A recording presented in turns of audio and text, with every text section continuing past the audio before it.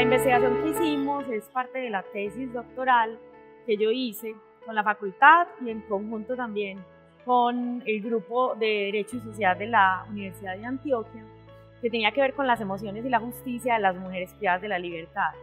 ¿En qué sentido emociones? A lo que se trataba en esta investigación era recoger historias de vida para verificar si efectivamente la Corte Constitucional, cuando declara el hacinamiento carcelario, esta cosa inconstitucional en las cárceles del país, tenía o no un enfoque de género frente a esas declaratorias que se hacían y adicionalmente consideraba esas demandas de justicia de esas mujeres que están privadas de la libertad en Colombia.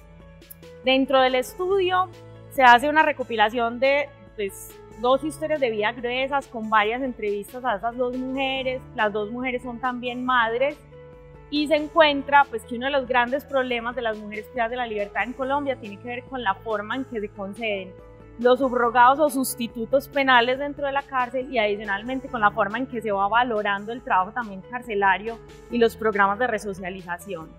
Se encuentra también que hay problemas bastante importantes respecto a la política de género en materia criminal, porque hoy en Colombia todavía no existe un protocolo para atender pues las demandas de la Administración de Justicia frente a mujeres o incluso grupos que no necesariamente son mujeres, sino también transgénero y población LGTBIQ+, que tienen que tener condiciones diferentes de reclusión de la libertad, ¿cierto?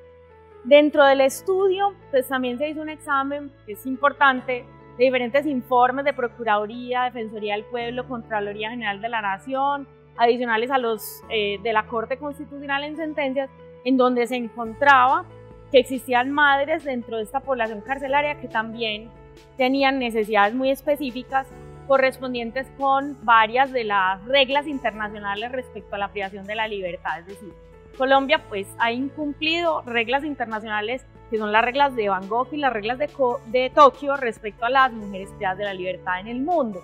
Nosotros suscribimos ambos eh, tratados internacionales y dentro de este contexto pues nos encontrábamos digamos con un escenario que mm, resultaba siendo muy problemático.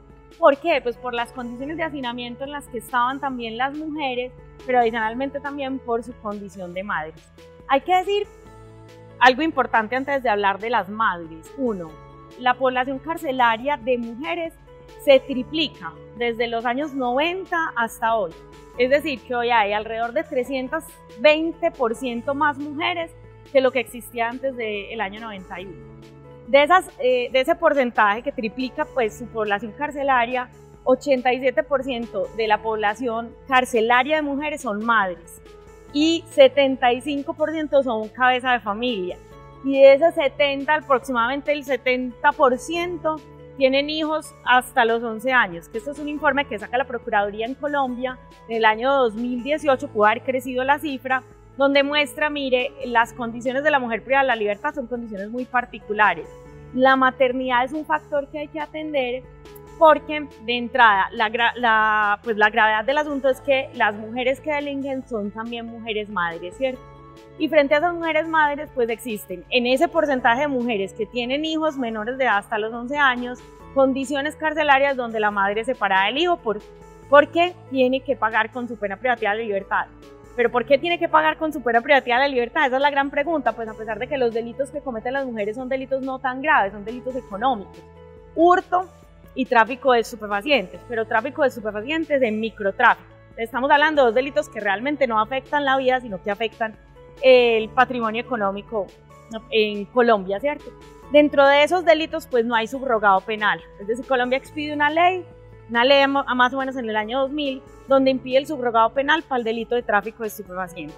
El delito de hurto, que también tendría derecho al subrogado penal, no se utiliza el subrogado penal. Es decir, en Colombia no se está utilizando el brazalete electrónico ni se está utilizando la detención domiciliaria por efectos de una política punitiva que ha ido incrementando, digamos, ese punitivismo penal tan alto que tenemos en el país. ¿Esto afecta a las mujeres? Claro, las afecta. Y las afecta como en su condición de madres. ¿Por qué? Porque si vamos a mirar los porcentajes, estamos casi al 90% de las mujeres privadas de la libertad que son madres, que son cabezas de familia que no pueden ver a sus hijos dentro de la cárcel porque los separan a, los tres años de edad. Que luego de que los separan, la situación se hace mucho más dramática. ¿Por qué? Porque hay que buscar la red familiar que reciba el niño. Por lo general, el hogar de la madre que va a recibir el niño es un hogar descompuesto, porque las condiciones en las que la madre comete el delito tienen que ver mucho con la pobreza, con la violencia intrafamiliar, con la violencia física, con la violencia sexual y adicionalmente también con una violencia psicológica permanente en los hogares de estas mujeres. Más o menos alrededor del 80% de las mujeres que cometen un delito son mujeres que han sufrido violencias en el hogar. Entonces va a quedar el hijo al cuidado del abuelo, del padre y en su defecto si no existen se consigue un hogar sustituto, sustituto desde el ICBF. Si vamos a encontrar una diferencia entre la mujer que delinque, la madre incluso mujer que delinque, y el hombre que delinque, el porcentaje de delincuencia en la mujer sí está influenciado por la situación de maltrato en la familia, ¿cierto?